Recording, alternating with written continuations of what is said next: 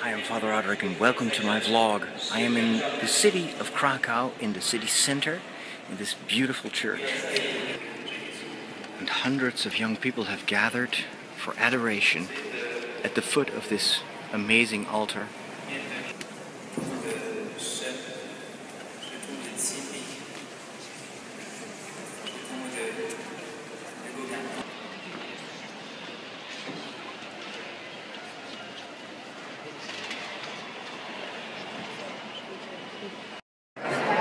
And outside the church, hundreds of other young people are still waiting to get inside to pray.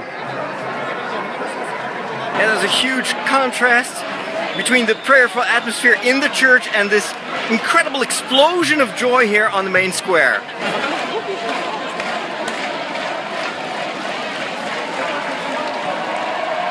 Ich bin hier mit zwei Deutscher. Du bist Tomislav und Severin.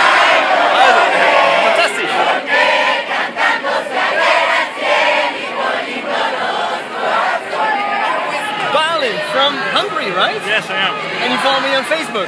Yeah, I'm so happy to meet you personally. So now I, I'm sure that you really exist. These are the famous YouTube sisters. They had a viral hit on their hands when they recorded a dance right before the start of World Youth Day.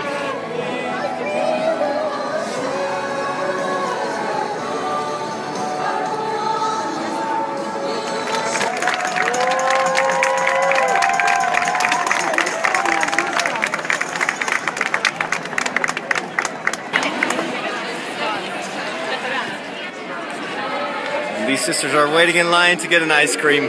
Very good idea on this warm day.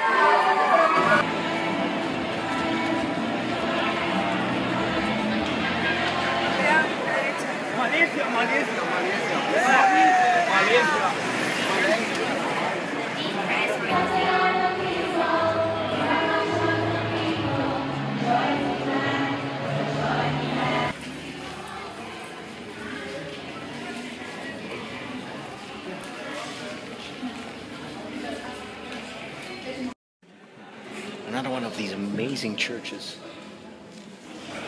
So during the homily, the priest would climb up the ship.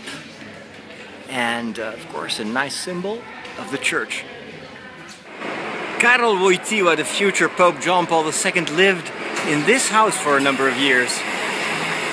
Pope Francis has arrived in Krakow and he is actually right now in the cathedral praying at the tomb of Saint Stanislav.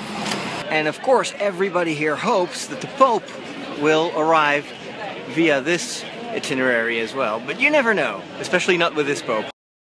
This is one of the many, many restaurants where they accept the food stamps that the pilgrims have received. This type of food distribution has proven to be very successful during previous World Youth Day. So you get a ticket for breakfast, lunch, and dinner.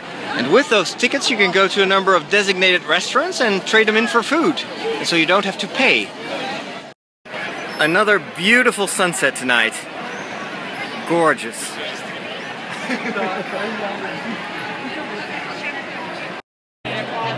It is a beautiful evening here in Krakow, and all these thousands and thousands of people are waiting for the youth festival to begin. Looks like the podium of a rock concert. This is going to be an evening with lots of music and dance. So as you can tell, the festivities here in Krakow are far from over. But I'm saying goodbye. Thanks for watching, liking, sharing, and subscribing. Take care. See you soon.